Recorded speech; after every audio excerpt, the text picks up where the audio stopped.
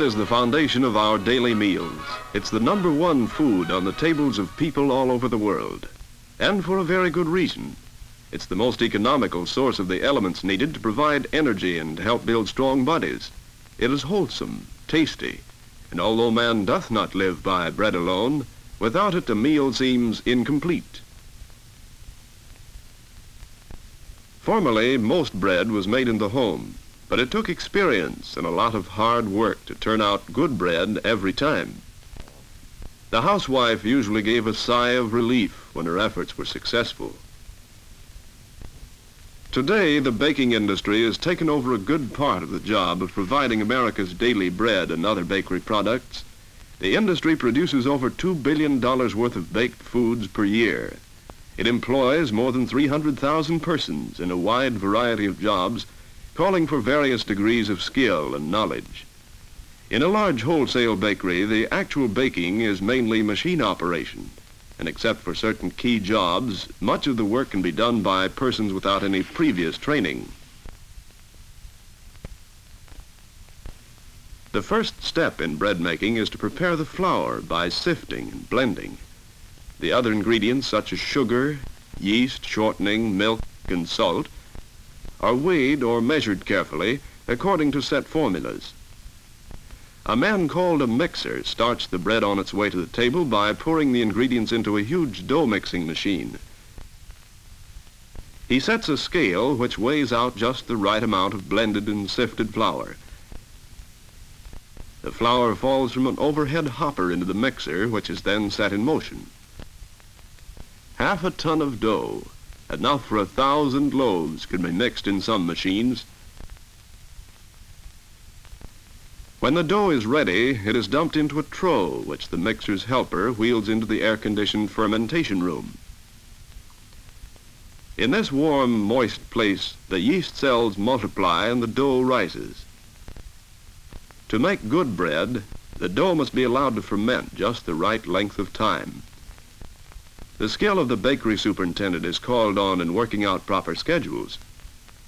Next, the dough goes to the divider, where it is separated into pieces the right size for individual loaves. The divider man checks the weight of the pieces and regulates his machine so that the output is uniform. The rounding machine rolls the dough into compact balls. These travel slowly for a time on an endless belt in an air-conditioned cabinet or overhead proofer. This gives the dough a chance to rise again. Then the pieces are fed into the molder, which flattens them and rolls each one up into the proper shape for the pans. The pieces are delivered to men known as panners, who place them in greased bake pans. The pan racker puts the pans on racks, which go into a proof box, where further rising, called proofing, takes place. Here, too, temperature, humidity, and time must be carefully controlled. Then the bread is ready for baking. The oven loader sets the pans on the moving steel belt or hearth, which carries the bread slowly through the oven where it can be observed through windows. Finally, it is delivered, baked to a golden brown, and the oven dumper puts the loaves onto a belt leading to the cooling room. The oven man has a responsible job. He must regulate the temperature and humidity in various parts of the long oven to ensure bread that is baked to a turn. After cooling, the loaves go into a slicing and wrapping machine. Its razor-sharp blades slice about 40 loaves a minute. The machine does all the work, but the operator must watch it closely to see that everything goes smoothly. The wrapping end of the machine, too, is completely automatic. Wholesale bread is usually distributed by route salesmen delivering to stores and restaurants all over the city. But this mass distribution has not put the small retail bakery out of business by any means. In fact, most of America's 30,000 bakeries are small ones, serving their own neighborhoods. In addition to bread of all kinds, retail bakeries make a variety of foods, including cakes, donuts, rolls, pies, cookies, coffee cakes, and fancy pastries.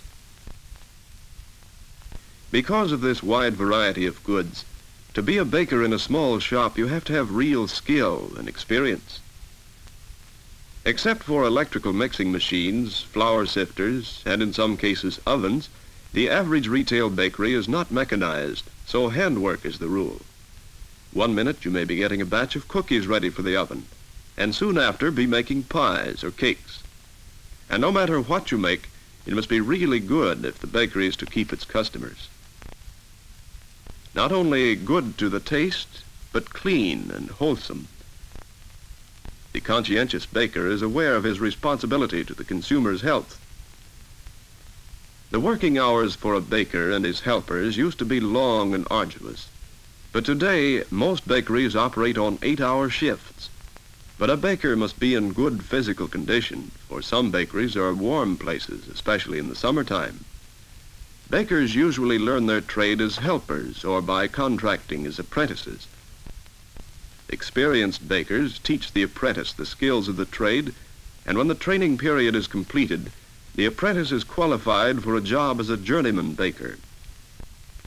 Baking can also be learned in a vocational school. Nationally known schools of baking are located at the Dunwoody Institute, the Siebel Institute of Technology, and at the American Institute of Baking. Such schools offer ambitious workers a chance to qualify for better jobs in the industry. Their programs include instruction in the science and theory of baking, shop management and related mathematics.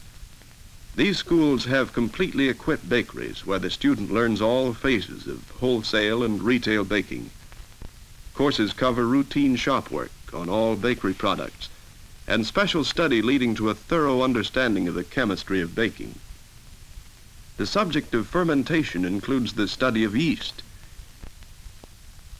This one-celled fungus, with its facility for rapid reproduction, plays a vital role in baking. When the course of training in a good vocational school is completed, the students are prepared to take advantage of the opportunities for employment as foremen or production managers in large bakeries. Such men must be highly skilled technicians. There are also positions as executives for men who know baking thoroughly and who also have sound business ability. Men with scientific training are employed in laboratories engaged in routine analytical work for large bakeries or in research work for the industry as a whole. In some bakeries, women are employed in light work such as putting frosting on rolls or cakes.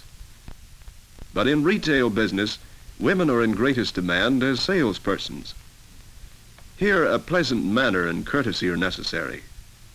For women with exceptional ability, there are jobs as store managers for neighborhood retail bakeries and for companies which operate chains of retail sales rooms in large cities. Owning your own bakery is an attractive goal to those who know baking and enjoy the work. But you must also know management and have enough business ability to handle the bookwork, which is a part of any commercial venture. But whether you operate a shop or work for someone else, you will find the baking industry an interesting field. It is one which contributes to mankind's well-being. It is a permanent part of America's economy and is due for further expansion. It offers employment to many and a career for those who qualify. If the work appeals to you and you're willing to learn with a sincere desire to get ahead, you may find some phase of the baking industry a worthwhile choice as your life work.